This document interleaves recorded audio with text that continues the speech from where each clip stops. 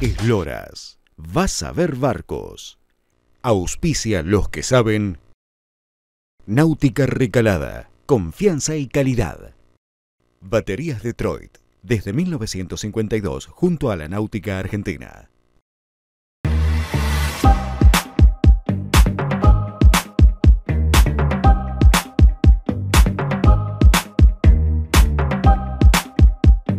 Hola, ¿qué tal? En este segmento les quiero eh, hablar del mantenimiento preventivo de los motores fuera de borda.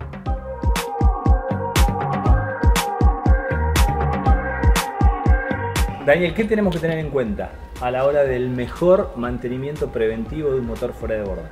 Primero, eh, hay que tener en cuenta es que no tiene que pasar las 100 horas entre un service y el otro, porque se recomienda que a las 100 horas el aceite de pata se degrada, el, aceite del motor se degrada, si es un dos tiempos, eh, habría que chequear los filtros, el aceite de pata, las bujías, y bueno, eso hace que si lo, lo pasás de las 100 horas, puede empezar con falla.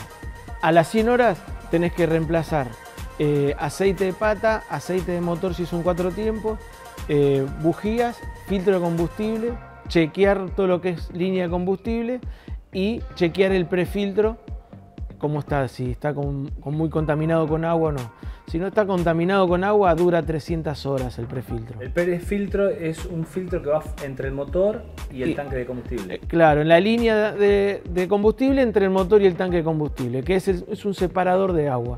Todo el, combustible que se contamine con, con agua, ese filtro lo va a separar.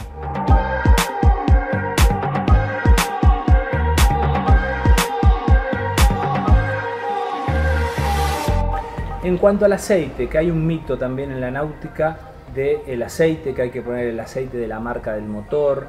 ¿Eso es así? Yo recomiendo aceite, eh, marca de aceite de motores. Casi todas las marcas traen sus aceites y es lo recomendable porque ya está probado en fábrica. Son todos confiables. Si vos no conseguís en ese momento, tenés que agregar un poco y no conseguís en ese momento el de la marca, que, cumpla con las especificaciones del original, ya es suficiente.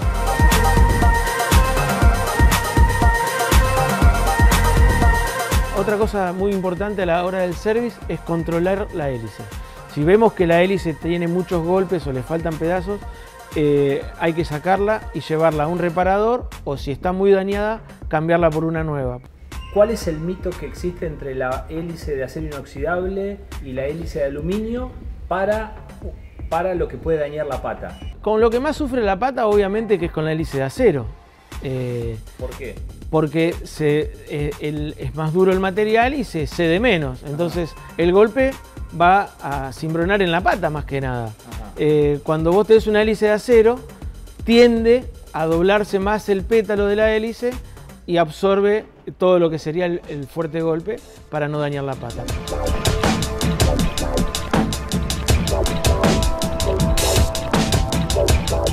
¿Qué pasa si el testigo de agua deja de tirar agua justamente? ¿Qué es lo que pasa y qué es lo que hay que hacer? El, fuera de borda refrigera por la pata. Tiene una rejilla que donde toma agua, la bomba de agua, y sube todo el, sistema de refrigeración al motor. Lo enfría y después tiene un testigo que te avisa que, ese, que esa agua está circulando. Está a la salida de la carcasa en un costado. Tira agua Tira agua siempre hacia el río. Eh, puede pasar dos cosas. Si el testigo no tira, pero el motor no emite ninguna falla, puede ser que el testigo esté tapado, que esté refrigerando, pero no esté tapado porque si alguna vez se varó algo, juntó un poco de basura y el testigo se tapa. ¿Pero el testigo se tapa qué? ¿La entrada o la salida? La salida, Donde, donde vemos nosotros el chorrito de agua. Si eso está tapado, eh, con algo punzante muy suave, eh, el mismo usuario lo puede hacer que es destaparlo y ver si empieza a tirar el chorrito. Si no es así, es porque se dañó el sistema de, refrigeración, la bomba de agua, etc. En ese caso, eh, le va a tocar una alarma y automáticamente tiene que volver a puerto regulando y llamar al mecánico. Y para finalizar, recomendamos hacer el service cada 100 horas para alargar la vida útil del motor y evitar roturas a futuro.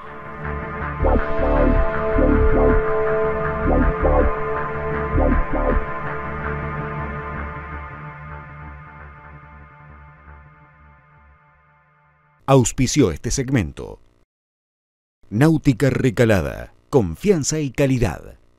Baterías Detroit, desde 1952 junto a la Náutica Argentina.